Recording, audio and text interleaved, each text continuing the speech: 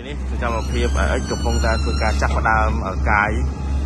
នៅចំណុចកំពង់មួយធំបន្តទៀតបាទ